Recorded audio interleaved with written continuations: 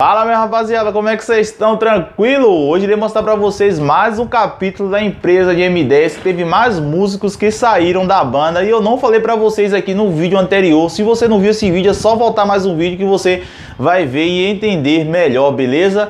Aqui quem fala é Emerson, você está no canal Emerson Isley vou mostrar isso tudo para vocês logo após a vinheta. Se você não me disser a verdade Pois é, rapaziada, lembrando a todos vocês que não são inscritos aqui no canal, que vocês se inscrevam e ativem as notificações, porque tá vindo vários vídeos top aí, tá vindo várias histórias aí que vocês vieram me pedindo há bastante tempo, então eu vou trazer pra vocês daqui pro final de semana, então pra vocês não perder nada, é só se inscrever e ativar as notificações, porque eu sempre estou postando vídeo às 12 horas e às 18 horas, então desde mais nem menos e vamos lá explicar um pouco pra vocês, porque esse vídeo ganhou mais um capítulo, que bom, né?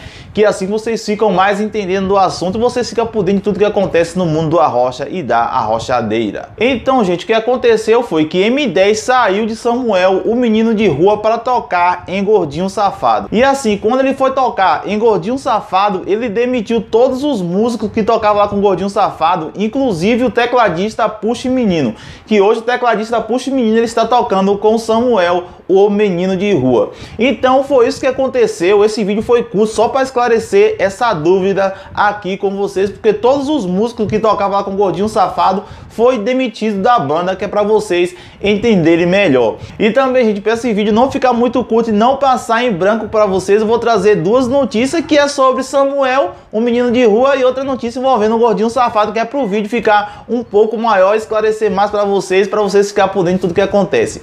É, vou trazer logo para vocês a primeira notícia do Gordinho Safado, que o Gordinho é safado mesmo, hein? Ontem ele embrasou o Túlio Milionário, chegando no seu show, beijando lá uma fã, dançando, for, dançando forró beijando Kemerson, dançando a rocha beijando. Então ele dançou e eu vou mostrar isso aqui agora para vocês, beleza? Então vamos lá.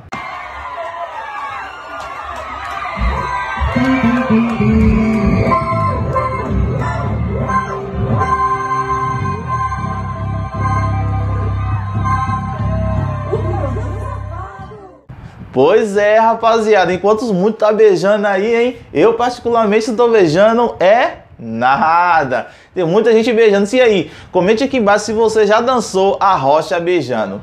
E a outra notícia que eu vou trazer para vocês é sobre Samuel também, um menino de rua que ontem em seu show ele foi lá pro meio da galera, cara, assim.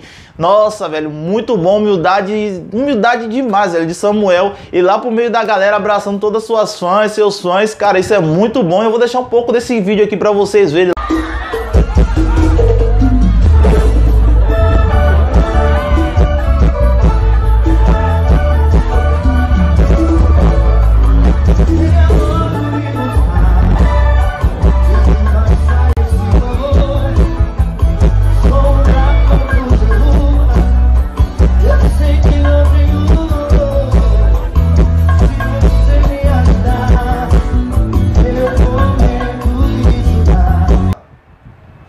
Pois é, minha rapaziada, para vocês verem, né, que humildade de Samuel, cara. Eu desejo pro Samuel muito sucesso, desejo também pro Gordinho Safado muito sucesso, que eles consigam trazer muitas músicas aí boas pra gente, porque assim, Sergipe tá com tudo com a rocha, tem várias bandas em Sergipe estourado, tem Gordinho Safado, cara, tem muitas bandas de Sergipe aí que tá fazendo sucesso. Alô, arroba, se eu te marcar, o Elton Gordinho também tá fazendo um grande sucesso. Então, gente, esse foi o vídeo de hoje, só esclarecendo isso pra vocês e trazendo essas duas notícias desses caras que é Dançando a Rocha Beijando e Samuel aí no meio da galera. Gente, eu espero que vocês tenham gostado desse vídeo, espero você aqui no próximo. Se você gostou, deixe, deixe seu like, se inscreva no canal e ative o sininho de notificações que é pra você ser lembrado toda vez que eu postar vídeo novo aqui no canal. E também não se esqueça de me seguir lá no meu Instagram, que é arroba Emerson Isley. Lá você fica por dentro dos lançamentos e também fica sabendo antes mesmo de o vídeo ser postado aqui no YouTube. Muito obrigado e até o próximo vídeo.